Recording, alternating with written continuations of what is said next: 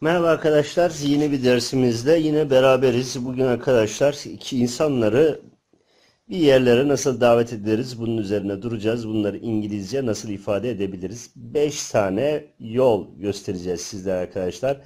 Birisine bir yere gitmek için davette bulunmak istediğimizde veya birisinin bir şey yapmasını istediğimizde veyahut da birisinin bir şey almasını istediğimizde Bunları İngilizce olarak nasıl dile getiririz?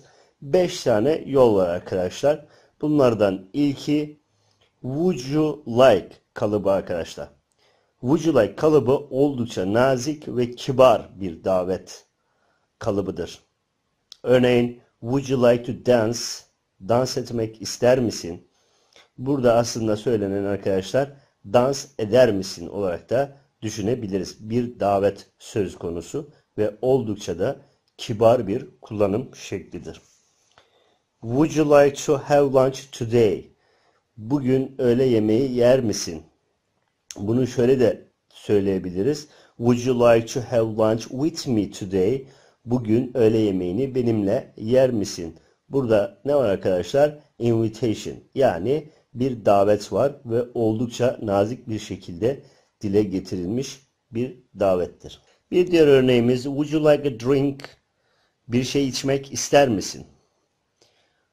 Yine bir davetten söz ediyoruz ve oldukça kibar bir şekilde dile getiriyoruz. Would you like a drink with me? Benimle bir şey içmek ister misin? Benimle bir şey içer misin? Derken burada birisini beraber bir şey içmeye davet ediyoruz. Bir diğer örneğimiz Would you like to come shopping with me next week? Gelecek hafta benimle alışverişe gelir misin? Yine ne var arkadaşlar? Bir davet de bulunuyoruz. Davetin en nazik şekli would you like ile kurulur. İkinci kalıbımız arkadaşlar do you want? Do you want would you like ile e, anlam bakımından aynı anlamı taşımasına rağmen e, would you like kalıbına nazaran daha informaldır arkadaşlar. Would you like tam formaldır. E, do you want kalıbı ise biraz daha informal kalıptır. Örneğin do you want another cup of coffee? Başka bir tane fincan kahve ister misin? Burada derken arkadaşlar yine ne var? E, would you like kalıbıyla kurduğumuz cümleyle aynı anlama geliyor. Yine bir davet yine bir şey davet anlamı çıkıyor. Ama dediğimiz gibi do you want kalıbı would you like kalıbı kadar nazik bir ifade şekli değildir. Bir diğer örneğimiz Do you want to come to the party on Saturday? Cumartesi partiye gelir misin? diyoruz. Bunu şu şekilde kursaydık. Would you like to come to the party on Saturday deseydik daha nazik bir şekilde dile getirmiş olacaktık. Ama anlam olarak yine aynı anlamı vermiş olacaktık. Anlamda herhangi bir değişiklik olmuyor. Do you want to go for a drink? Bir şeyler içmeye gitmek ister misin? diyoruz. Yine burada davetimiz var arkadaşlar.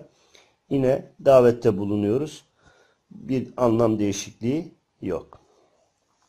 Şimdi arkadaşlar imperative form inceleyeceğiz. E, the imperative form of verb is the base form arkadaşlar. E, we usually use the imperative form to give an order or warning to someone. İmperatif formlar arkadaşlar genelde birilerine emir vermek veya bir uyarıda bulunmak için kullanıyoruz.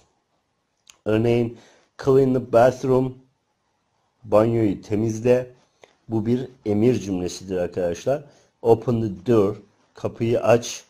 Ve son örneğimiz arkadaşlar don't go out. Bu da yine nedir? Bir emir cümlesidir. We can also use the imperative to give an invitation arkadaşlar. Yani imperative formu aynı zamanda bir davette bulunmak, bir davet vermek amaçlı da kullanabiliyoruz. But be careful, the imperative is very direct. Ancak burada dikkatli olmamız gerekiyor. Çünkü imperative form arkadaşlar çok daha böyle direkt olarak söylenen bir cümledir. Bunu genelde çok samimi olduğumuz insanlara karşı kullanabileceğimiz bir kalıp e, bir form çeşididir. Örneğin eğer bunu çok samimi olmadığımız insanlara karşı kullanırsak karşımızdaki insanlar e, bu hoşuna gitmeyebilir bu konu. Örneğin örnek verdiğimizde daha iyi anlaşılacaktır. Örneğin come to the restaurant with us tonight. Bu akşam bizimle restoranta gel diyoruz. Bunu arkadaşlar bu şekilde söylediğimizde samimi olduğumuz birisine söylediğimizde samimi olduğumuz bu kişi bunun bir davet olduğunu anlayabilir. Çünkü ne var burada arkadaşlar? Emreder gibi söylediğimiz bir cümle ama aslında bir davet cümlesidir. Come to the restaurant with us tonight diyoruz. Veya sit down have a cake. Otur ve biraz kek al diyoruz. İşte bu şekilde bir konuşma tarzını e, samimi olmadığımız birisine söylediğimizde yanlış anlaşılabiliriz. Aslında burada yine ne var? Anlam bakımından incelediğimizde arkadaşlar bir davet var. Başka bir örnek. Come to the museum, bring your friends. Müzeye gel, arkadaşını getir diyoruz. İşte bu arkadaşlar bu şekildeki bir hitap tarzı samimi olmadığımız kişilere olmayacaktır. Samimi olduğumuz kişilere karşı kullanabileceğimiz davet şeklidir. Imperative form diyoruz. Üçüncü kalıbımız arkadaşlar why don't you kalıbıyla başladığımız davet cümleleridir. Örneğin why don't you come to London with us next week? Gelecek hafta bizimle neden Londra'ya gelmiyorsun? Aslında burada söylemek istediğimiz, anlam bakımından söylemek istediğimiz nedir? Gelecek hafta bizimle Londra'ya gel, seni davet ediyoruz anlamındadır. Why don't you come to London with us next week? diyoruz. Why don't you come to the concert with us tonight? Bu akşam bizimle konsere neden gelmiyorsun? Yine anlam bakımından ne var arkadaşlar?